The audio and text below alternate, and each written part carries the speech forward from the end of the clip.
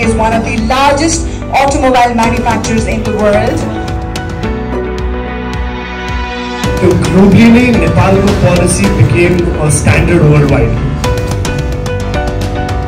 Safety is the key over here. Innovation is the key. Range, again, battery pack size.